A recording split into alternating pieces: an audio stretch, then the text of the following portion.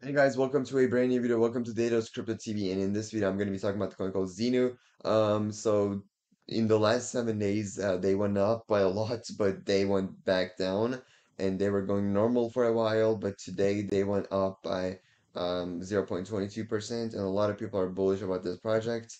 Um, so we see that a lot of bullish comments here. Um, so today we're going to be checking their um Twitter to find the news. Um, and yeah, so let's check their market cap before we get into the video.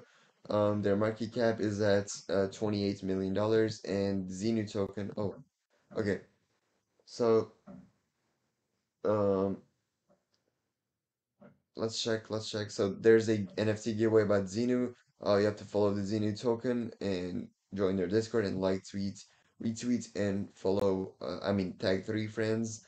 Um, when you least expect us, they got some things. Uh, are you curious about the project?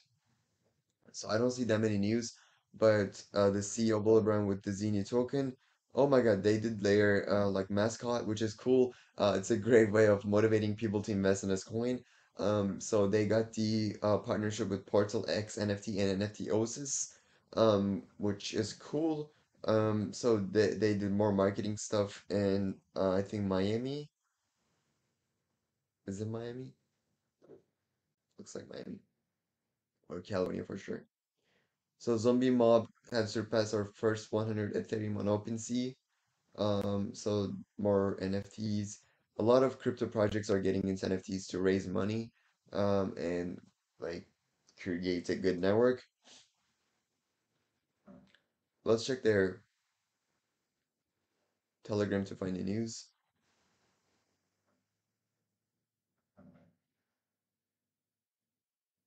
Oh my God, why do they have to do this?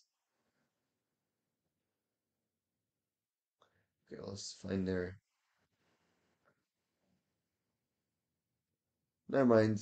Um, if they were to do like any big news, they would put their they would put their news on Twitter, so I'm not gonna be checking their Telegram. And yeah, so that was it for this video. A lot of people are bullish about this project, and this video wasn't a financial advice, so please do your research before investing in any type of coins.